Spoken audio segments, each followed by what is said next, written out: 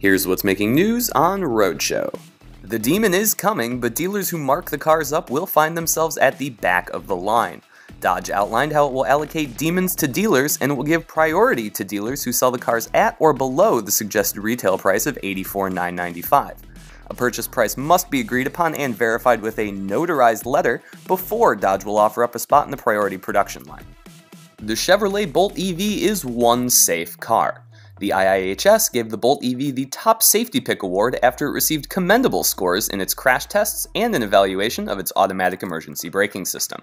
The Bolt EV only missed out on Top Safety Pick Plus because of its headlights, which the IIHS rated as poor due to excessive glare and a lack of sufficient illumination in curves.